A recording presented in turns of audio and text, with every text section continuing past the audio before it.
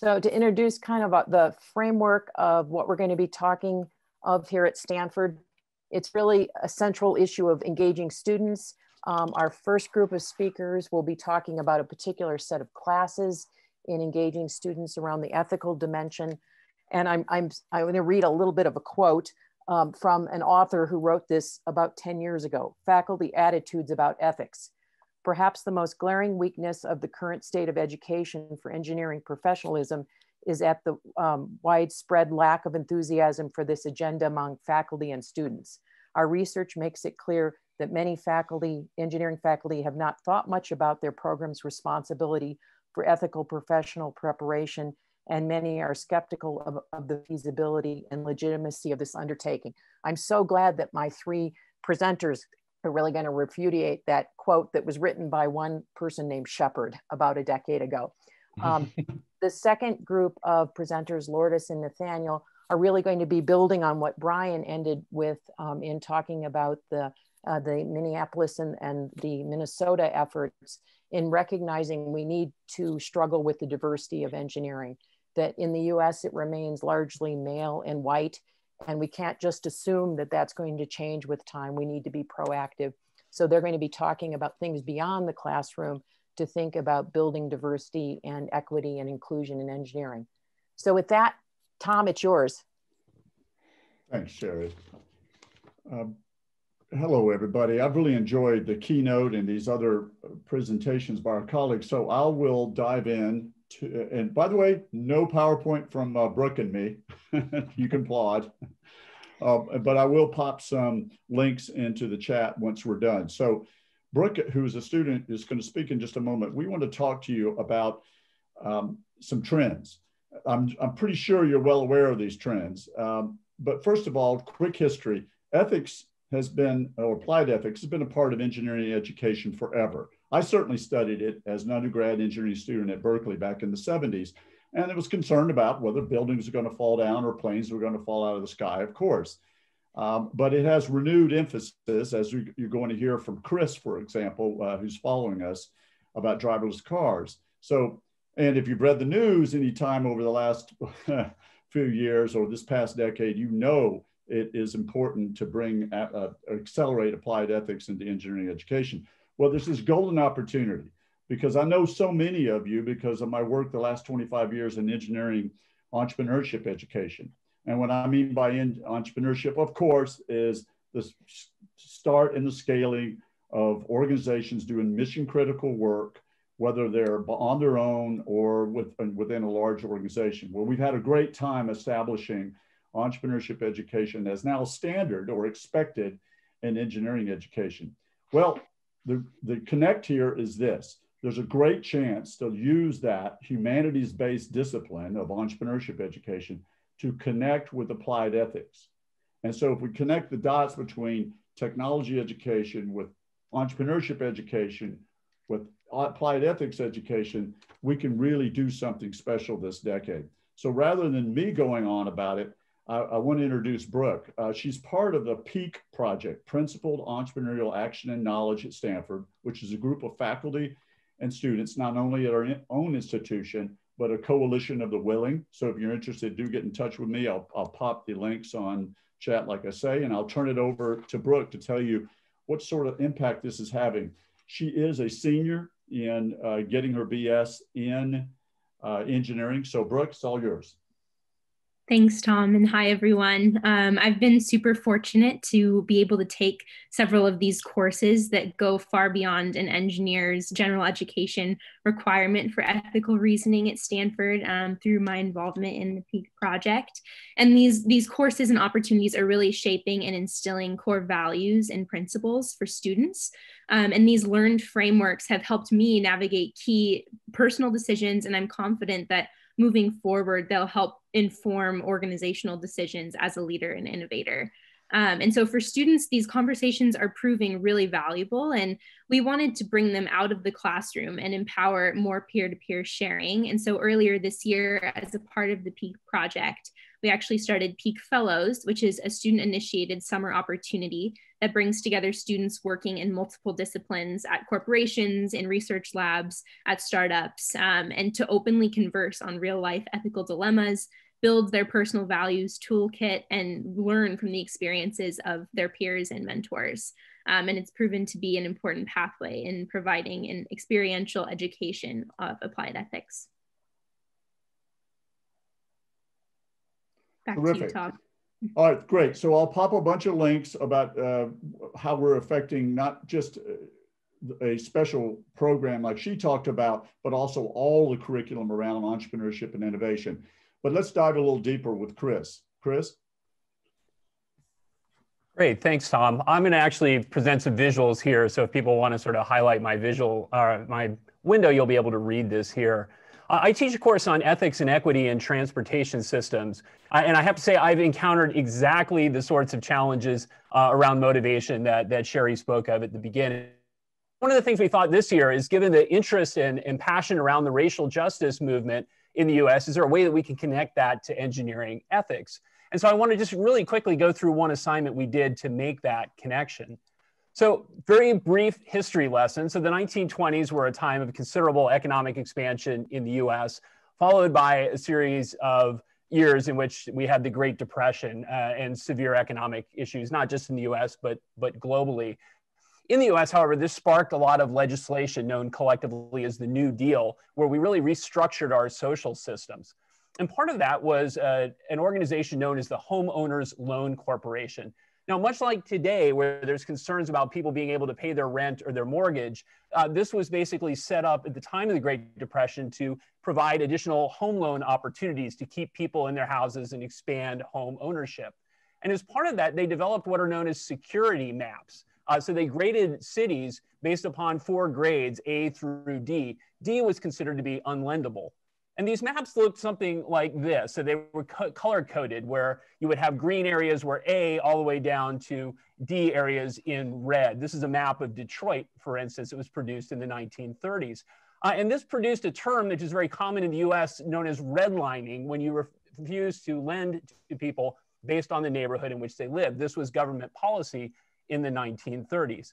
Now, fortunately, these maps have actually been digitized now and overlaid over modern cities. So it's now extremely easy to, to go into a city of your choice and basically see what neighborhoods were graded what level back in the 1930s. This is part of the mapping inequality program. And you can furthermore tap on these individual neighborhoods and get the rationale as for why they were graded the way that they were. And some of these are quite honestly very disturbing.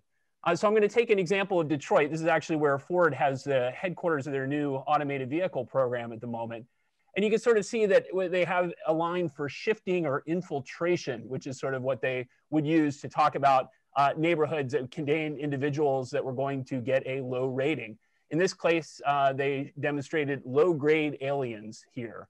It mentioned in the description a couple of times that this area has a heavy concentration of low grade aliens and undesirable aliens finally concluding that it's the type of population that generates the fourth or unlendable uh, rating. So very clearly national origin discrimination laid out in government policy.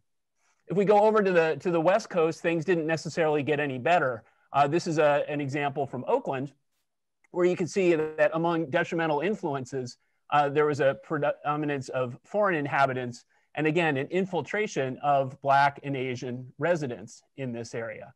You'll see that in fact, there was a special line that had to be filled out uh, to rate the percentage of the Black population in the neighborhood. And this infiltration that caused the low rating was a matter of 1%. So we often hear in the US stories of white families chasing Black families out of neighborhoods. But what often gets omitted is the fact that government policy was to not lend to such neighborhoods. Therefore, there was really a systemic problem here. So what we did with the assignment was given the availability of this, we sent students out to pick any city that they wanted, uh, often their hometown or for international students, often somewhere in the Bay Area. And then we asked them to basically figure out were the red zones based on national origin or racial discrimination.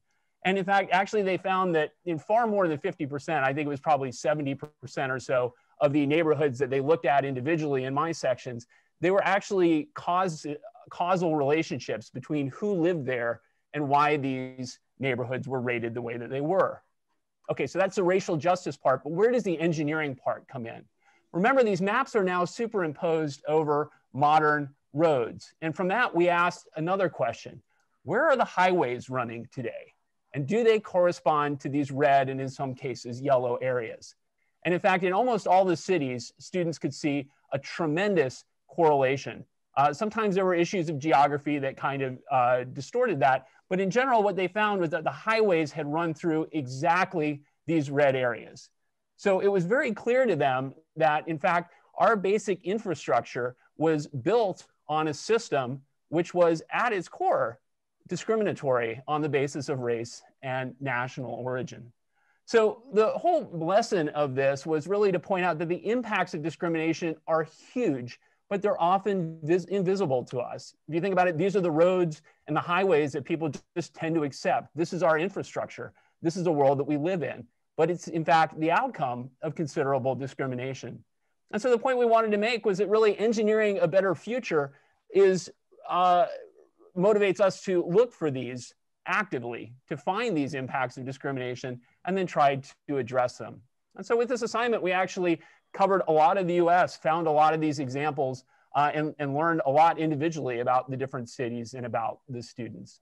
So I think it was overall fairly successful at engaging them around a topic that's relevant to engineering and relevant to their lives.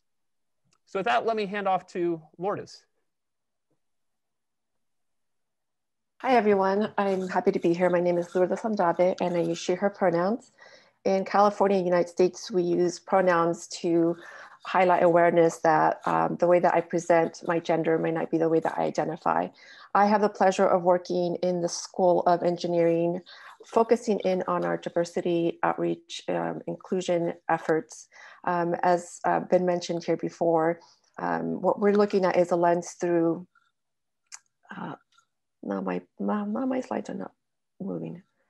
Uh, we're looking through a lens of a critical race theory, which means that it's not um, how do we make the student fit into the system, but how do we look at systemic issues that we have influence over to make the university a place where all students from backgrounds have a sense of belonging. So briefly, we have undergraduate programs that we run. These are our uh, summer undergraduate um, engineering academy. It's normally a residentially based experience for students to come in before school begins to build a sense of community, to get to understand campus. And then we offer year-round um, smaller companion classes that are for foundational engineering courses. At the graduate level, a lot of our focus is in outreach and inclusion. So how do we make sure that we are reaching out to students from across the United States and the globe who may not have considered uh, Stanford as a place that they want to um, come in and become graduate students. Um, here's an example of some of our outreach materials. We know that representation matters students of color, particularly Black students in the United States, obviously has a very complicated history with race, um, his, just the, the, racial history of, of, of, the United States. We want to make sure that we are representing students in a way that they have perhaps in the past never seen themselves represented. One of the things that we're also doing to engage students once they get here is we don't make these assumptions that because they are at Stanford that they understand all of the complexities of becoming a graduate student. Through programs like Summer First, which are students, allow students who are incoming PhD students who may be the first in the family to attend college, or maybe came from a, a school that wasn't an R1, didn't have strong research background. And what we do is we bring them in the summer together and they meet with faculty, they learn about rotations and grants um, and research, and they get a jump start on that and build community as well. We also have programs and community building events. We have a brand new program called Women of Color in Engineering. Again, it's trying to find community amongst engineering students and faculty, highlighting their efforts, what they're doing, and bringing awareness to others who've come before them. This is an example of a program that we just did.